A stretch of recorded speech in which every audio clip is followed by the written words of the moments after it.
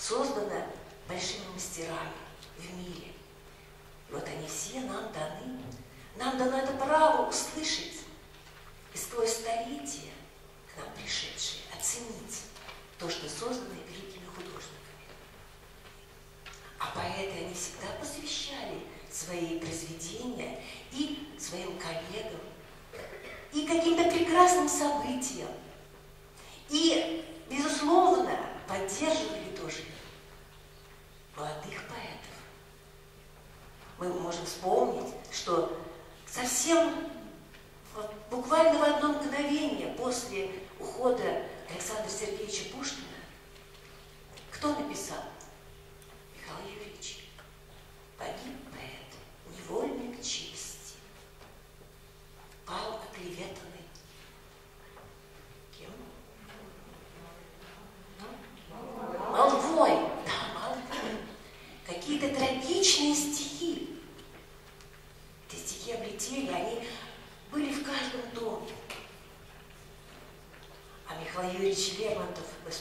Какой же это был вообще великий поэт. Погибший в 27 лет, вот поколение русских поэтов. Смотрите, как Пушкин погиб всего сколько, 37 лет. Лермонтов 27. Гедрин очень быстро ушел, тоже великий, великий поэт русский, вот уже нашего а мы его еще очень мало знаем. Тоже трагичная судьба. Есенин Сергей Александрович. В 35 лет. Что такое 35 лет? Что это возраст какой, чтобы осмыслить окружающий мир, чтобы увидеть все его прелести.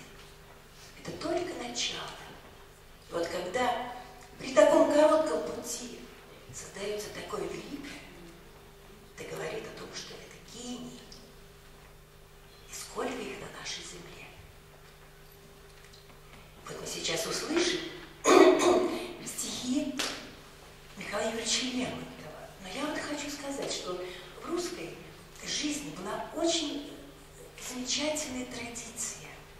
Кстати, э, э, даже вот и мое поколение, вот моя бабушка имела такой альбом, когда не только поэты, а просто знакомые друг другу писали стихи, посвящения, послания, оставляя вот свои как бы творческие следы в семьях.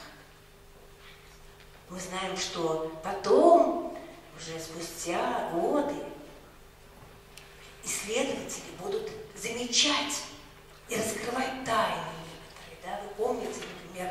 э, великолепнейший поэт, прозаик Ираклий Андроников. Сколько же он нашел и у Лермонтова, и у других писателей. Каких загадок великолепнейших он раскрыл, коснулся. Это великое искусство тоже исследования созданного. Вот мы сейчас послушаем Михаила Ильича Лермонтова. Я приглашаю на сцену Андрея Гетмана.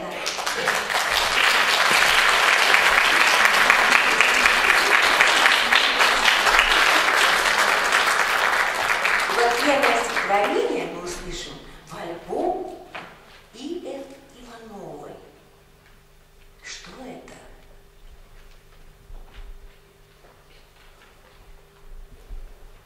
Что может краткое свидание мне утешение принести? Неизбежный расставания настал, и я сказал прости. И стих безумный, стих прощальный в альбом твой бросил для тебя, как свет единственный, печальный, который здесь оставлю я. Я не унижусь пред тобою, ни твой привет, ни твой укор не властны над моей душою. Знай, мы чужие с этих пор. Ты позабыла, и я свободы для заблуждения не отдам. И так пожертвовал я годы твоей улыбки и глазам, И так я слишком долго видел в тебе надежду юных дней, И целый мир возненавидел, чтобы тебя любить сильней. Как знать, быть может, те мгновенья, что протекли у ног твоих, я отнимал вдохновение, а чем ты заменила их? Быть может, мыслью небесной и силой духа убежден, я дал бы миру дар чудесный, а мне зато бессмертие он. Зачем так нежно обещала ты заменить его венец? Зачем ты не было сначала, какой устала, наконец? Я горд. Прости, люби другого. Мечтай любовь найти в другом. Чего б то ни было земного, я не соделаюсь рабом. Чужим горам под небо юга я удалюсь, может быть, но слишком знаем мы друг друга, чтобы друг друга позабыть. Отныне стану наслаждаться и в страсти стану клясться всем, со всеми буду я смеяться, а плакать не хочу ни с кем. Начну обманывать безбожно, чтоб не любить, как и я любил, или женщин уважать возможно, когда мне ангел изменил. Я был готов на смерть и муку и целый мир на битву звать, чтобы твою молодую руку безумец лишний раз пожать.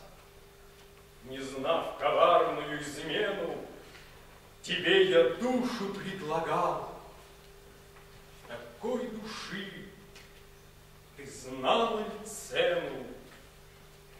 Ты знала,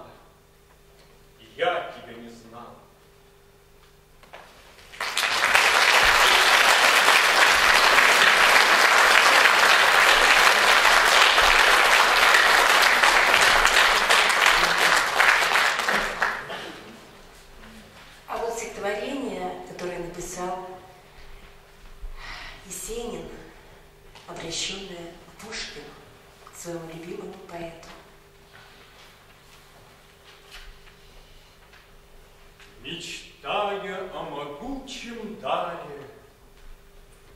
Того, кто русской стал судьбой, Стою я на Тверском бульваре, Стою и говорю с собой. Блондинистый, почти белесый, В легендах ставший, как туман, о, Александр, ты был повеса, как я сегодня хулиган, но эти милые забавы не затемнили образ твой, и в бронзе выкованной славы трясешь ты гордой головой. А я стою, как пред причастием,